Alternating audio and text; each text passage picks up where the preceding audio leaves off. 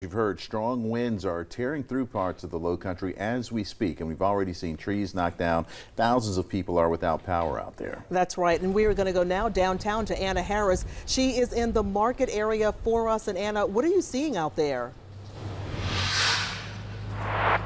Hey, Ralph and Ann. So it's not too different than it was here about 30 minutes ago, but we have gone to the other side of the market and have noticed considerable flooding. Now, this is about ankle deep, I would say. We actually saw someone running for exercise during this sort of storm, and you could I could see that it was about ankle deep for him. As you can see that there's a few cars trying to drive by, and it's not too too deep on this side, but on the opposite side of the road, it was pretty considerably deep for a different truck that we saw earlier. Now, there are sandbags on this business and a couple other businesses nearby that are boarded up, um, but most people, I think, are staying inside, and I definitely recommend it at this time, especially now that it's dark and the temperatures are getting chillier, um, and we're freezing out here, so we're ready to get inside for sure.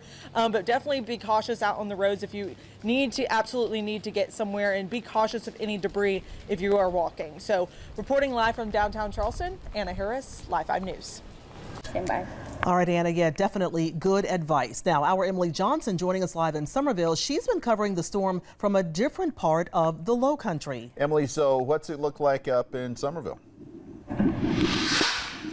Yes, and in Roth. Well, throughout the day, we've been driving throughout Berkeley and Dorchester counties to fully see exactly the extent of this storm. And we've mainly seen debris and trees that are in roads and fallen down from the strong winds. But currently here in downtown Summerville, and I will walk out of the way so you can see it, this road of West Richardson in, has been closed down to one road due to flooding, but it looks like they're starting to pack up because most of those flooding waters have started to go down.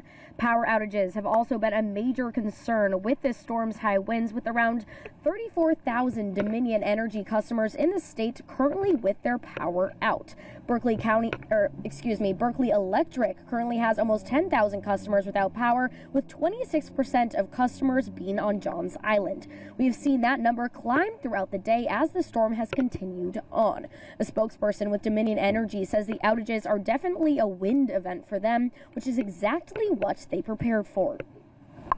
What we're dealing with primarily is damage from winds and and of course uh, because of those strong winds, damage to trees, tree limbs, taking down our, our poles as well as energized lines. He adds that the crews will continue to work throughout the rest of the night to restore customers' power, and they will relocate those crews to whatever areas need it the most. We will also be here live in downtown Summerville tonight at 7 o'clock with more updates on this continued winds and rains. Reporting live in downtown Summerville, Emily Johnson, Live 5 News.